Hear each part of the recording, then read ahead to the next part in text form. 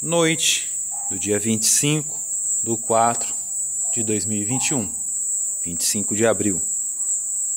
Tempo com algumas nuvens, né? Atrapalhando um pouco da imagem da lua. Mas a gente consegue fazer um registro para vocês, né? A gente consegue ver até um arco em volta aqui, né? Com coloração. E deixa eu dar só um chegar mais perto para focar a imagem, só para vocês terem uma noção. Então nós estamos já finalizando o quarto minguante, dia 27 agora entra na lua cheia, né? E vamos fazer uma live para vocês. É a live da lua cheia no perigeu, conhecido popularmente como superlua. Mas muitos estão confundindo ela, né, com a lua é, é a lua rosa, né? Só que a lua não vai ficar rosa, tá? Esse termo nem nem sequer precisaria ser usado no Brasil, tá? Essa questão de lua rosa, é, segundo o calendário lá, era comemorado pelos indígenas norte-americanos para a chegada da primavera e também em questão das colheitas, né? Assim como é a lua azul também, mas não significa que a lua vai ficar azul ou que a lua vai ficar rosa, ok? Mais próximo que conseguimos chegar aí da lua, em questão de coloração, aos tons de frequências mais baixas, né? Amarelo, vermelho, laranjado, né? pouca coisa meio rubra, né? Dependendo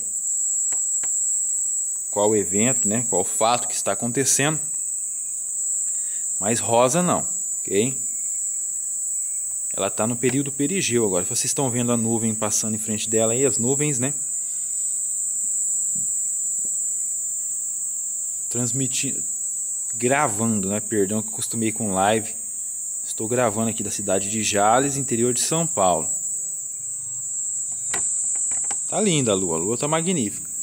Só que as nuvens estão ocultando parte de sua beleza, né? Então vocês entenderam, né?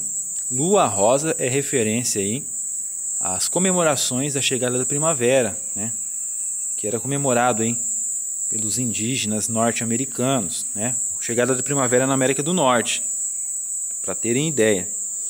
E os sites, a maioria dos sites, com sensacionalismo, né? às vezes só por, por, explicação, o pessoal coloca lá também, não tem essa, essa, esse entendimento.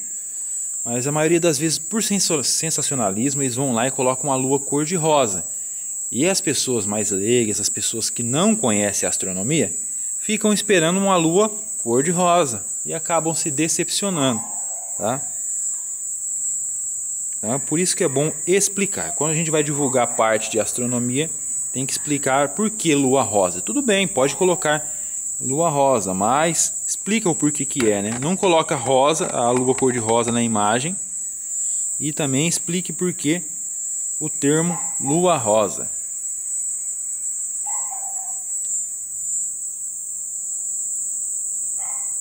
A imagem dela está magnífica. Consigo dar mais ampliação se quiser. Ó.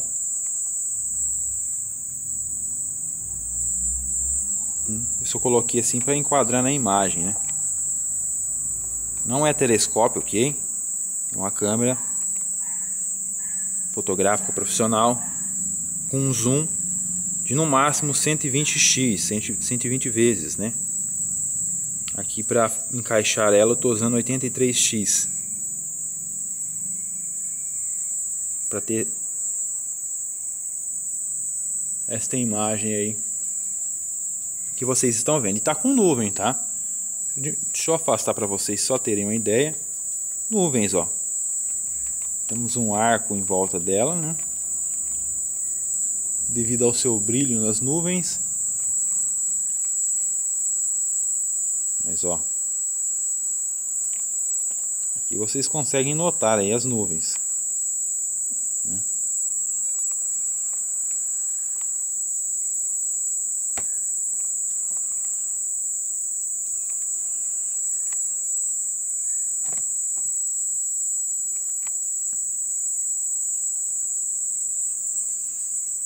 Bom, o vídeo é só isso mesmo, só para vocês darem uma olhadinha aí. Na lua se findando já, para chegar na lua cheia no dia 27, que vamos estar acompanhando pelo canal Mundo Curioso, transmitindo ao vivo para vocês, interagindo totalmente através das redes sociais. Um abraço a todos, até mais.